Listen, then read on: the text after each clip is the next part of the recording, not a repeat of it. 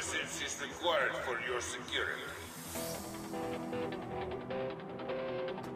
Uniformed personnel operate under the authority of the Grand Master and must be obeyed at all times.